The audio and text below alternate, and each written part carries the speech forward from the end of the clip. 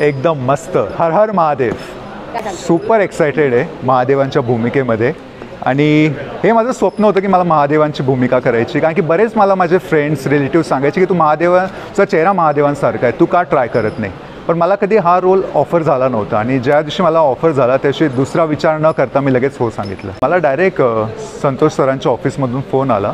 आणि तेव्हा मला माहिती नव्हतं. त्यांनी फक्त सांगितलं की शनिदेवाचा शो करतोय आम्ही आणि त्याच्यासाठी आम्ही ऑडिशन करणार आहोत. मग जेव्हा नंतर त्यांनी मला सांगितलं हे महादेवासाठी ते ऑडिशन करणार आहे माझं तर मी फार खुश झालो कारण की महादेवांचा रोल मला करायचाच होता. सो तो एक रियालिटी शो होता हा एक मायथो शो आहे.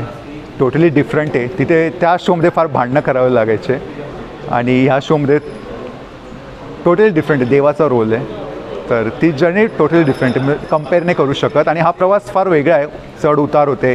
बिग बॉस नंतर आल्यावरती भरपूर लोक तुम्हाला ओळखायला लागतात. रातोरात स्टार बनतात तुम्ही.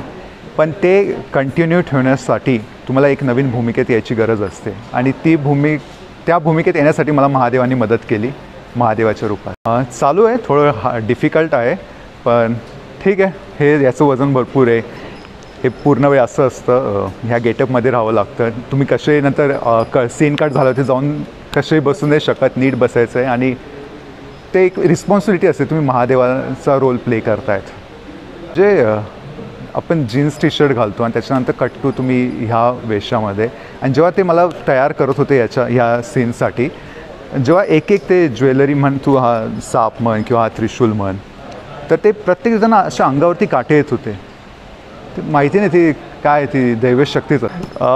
त्रिशूल वै त्रिशूल आणि हे त्रिशूल माझं नाव हे पण शंकराशीच रिलेटेड आहे आणि याच्या मागची स्टोरी आहे की जेव्हा माझा जन्म झाला होता तेव्हा ब्राह्मणांनी सांगितलं होतं की याचं नाव त्र वरून ठेवा. आणि तेव्हा मम्मीने त्रिशूल मूवी बघितला होता आणि तेव्हा माझं नाव त्रिशूल ठेवलं. आणि मी नाशिकचा आहे. नाशिकजवळ त्र्यंबकेश्वर आहे. तर हा कुठे ना कुठे महादेवांचा आशीर्वाद आहे म्हणून मी आज महादेवांच्याच भूमिकेत आहे. म्हणजे थोडा वेळ लागला ह्या सर्कल कंप्लीट व्हायला पण फायनली झाला.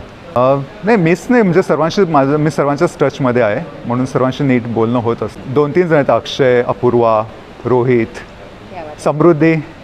ती आता लंडनला आहे. तिला सांगेल मी. अजून मी तिला सांगितलं नाही आहे तुमच्या रील थ्रू तिला कळणारच आहे. मला फार प्रेम दिलं होतं मागच्या माझ्या रियालिटी शोमध्ये या शोलाही फार प्रेम द्या. आणि बस बघत राहा. मला नवीन रूपामध्ये. हर हर महादेव.